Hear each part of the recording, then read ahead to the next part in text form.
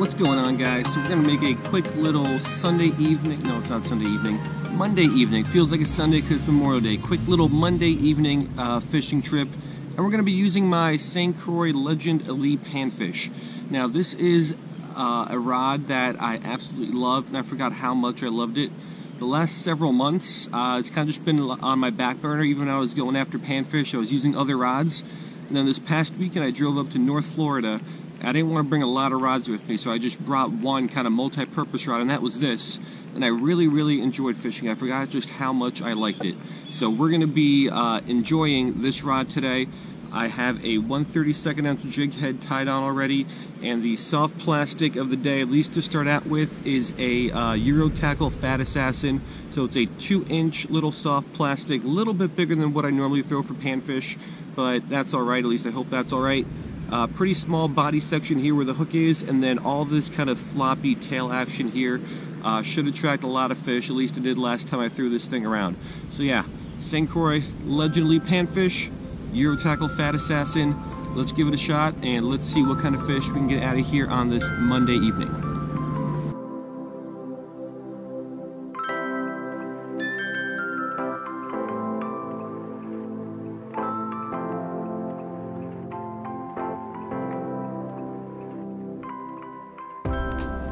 Alrighty, so here is the little lake that we are going to be fishing.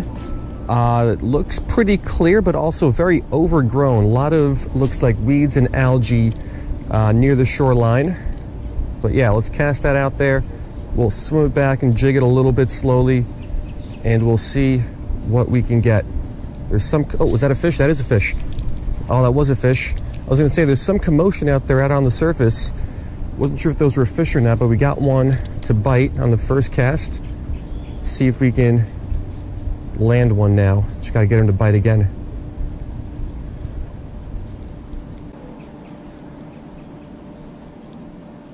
There we go, fish on.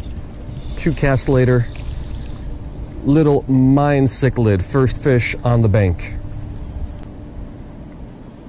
All right, so first fish on that Eurotackle Fat Assassin on the. Croix Legend Elite Panfish is a little Mayan cichlid. So not big by uh, Mayan cichlid standards, but fairly big as far as panfish go, or at least strong. I mean, this is probably slightly bigger than most bluegill that you're going to be catching out there, and this guy's hooked well. There we go, hook out. Another look at the uh, Mayan cichlid, and let's get him back in there.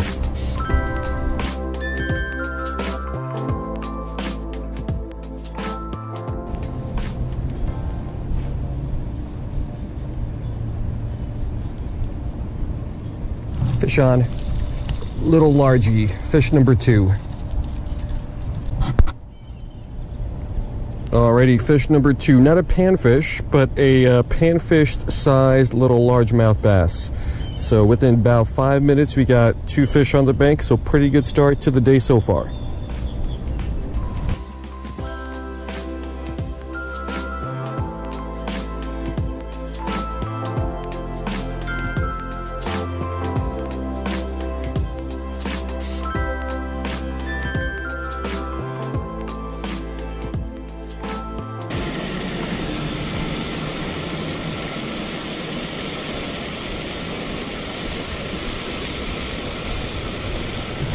Fish on. A large, I think it's a largemouth. It's a little bit bigger, but let's get him on in here. Yeah, so as far as largemouths go, it's certainly not big, but as far as panfish go, this is pretty big. And over these grasses, that St. Croix Legend Elite panfish had no trouble pulling this guy over. And you could feel every little bump and head shake because it's a really, really sensitive rod. So a lot of fun to fish. That guy disappeared right away. But yeah, let's keep going. Let's see what else we can get.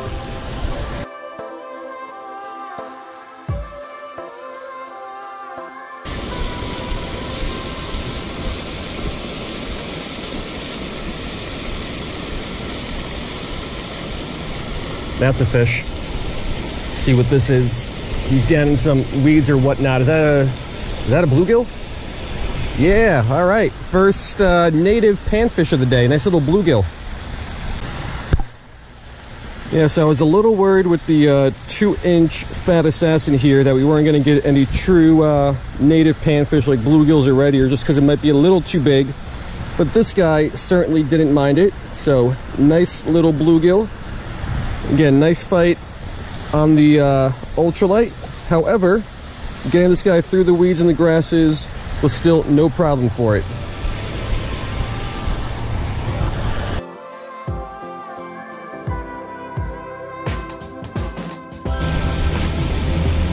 Yeah, so if you just look at the shoreline here, we got some pretty thick weeds and grasses, a lot of algae, and then even a little bit farther out in the water, there's even some heavier weeds.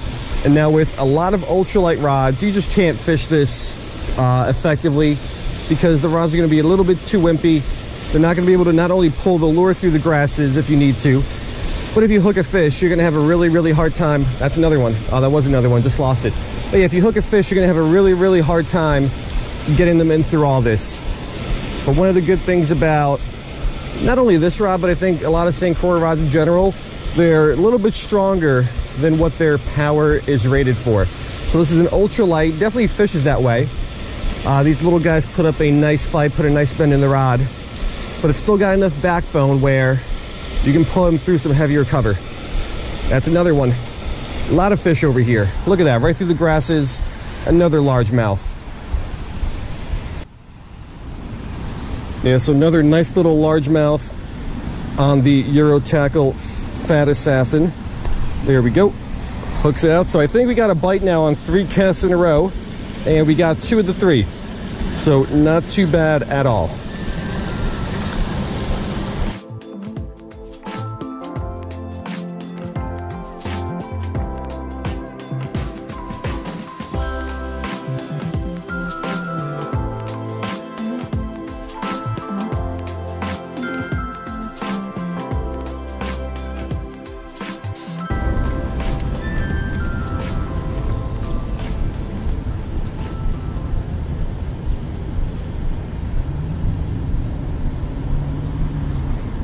That's a fish. Little guy down in the grasses. Let's get him on through the grasses. Oh man, hate when they swim down. So this rod has no problem muscling them out. It's just my four pound line might say something different. There we go. We're working through these grasses. Mayan cichlid. Get him on up here. Yeah, so like I said, the rod has no problem pulling this guy through, but I'm still ultralight fishing. I still only got four pound test on there, and that test is actually probably about a year and a half old now. Got to replace that, but yeah, another nice little Mayan cichlid on the ultralight.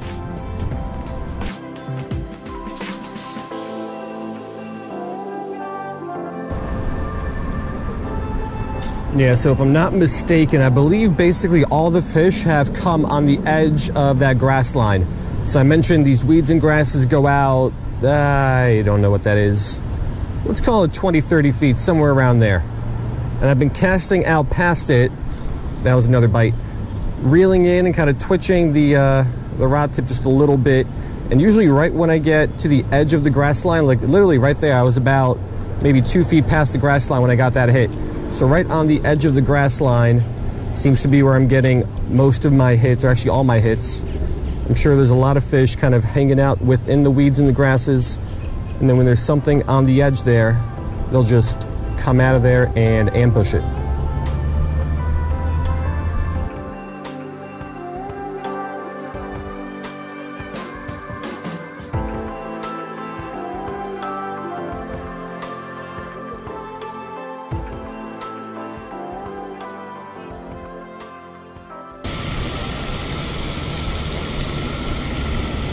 Fish on.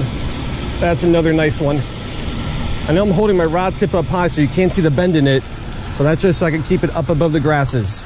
But yeah, we got another nice little largemouth. Yeah, so another nice little panfish sized largemouth bass. Again, hit right on the edge of these grasses here. So we're gonna let this one go, and I believe that is gonna do it. So let's get a release on this guy and then let's wrap it up.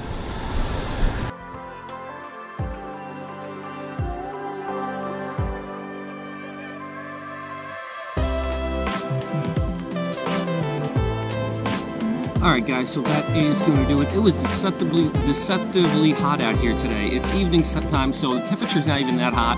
The sun is behind the clouds, but just really muddy and muggy and humid, so uh, kind of rough one hour out here, but it was only about an hour, so all those fish uh, came within the last 60 minutes. First, let's talk about the day. It was about as average of a day as you can have, uh, not only on this lake, but in South Florida in general. Couple Mayans, couple dink largemouths, one bluegill, so pretty average day, pretty standard day. Uh, but then let's talk about the reason why I kind of fished today, which was to use my St. Croix Legend Elite panfish rod. Like I said, besides this past weekend, I haven't used this in a couple months, and I missed it. This is an excellent rod. Uh, if you want the best American-made panfish rod you can get, I think you're, you're going to have a hard time uh, beating this. There's probably a lot of Japanese rods, a couple that I own that are probably equal to this. I don't know if they're better or worse, but at least equal. But this is such a fun rod to fish. Uh, very light, very sensitive, but also very strong. So I was fishing uh, kind of the edges of all these grasses here for basically the entire day. Uh, no problem getting the fish through them. I did lose one jig head, that's why I, I started out with a black one, now I got a white one. But that's really just because I've got four pound test on here and an old four pound test, I gotta replace that. But the rod was absolutely uh, perfect. And it is pretty strong, but the tip is still soft. No problem jigging, it's a good jigging rod. I just have no real complaints about it, and it is a fun rod to fish. So if you're looking for the best of the best, I don't think you can beat this. And actually, recently I've been thinking about selling. I own the uh, the two basic uh, St. Croix Panfish series rods, uh, one in ultralight and one in light. And I've been thinking about selling both of those and buying one more of these. Uh, this is the six foot ultralight fast. I've been thinking about selling those and buying the uh, Legend Elite Panfish in six foot four uh, light power fast action. I think that'll be another uh, pretty nice rod and just another upgrade because I forgot how fun this rod is to fish. So yeah, if you're looking for the best of the best, uh, check out the St. Croix Legend Elite Panfish. But yeah, hope you guys like this one, and I will see you next time.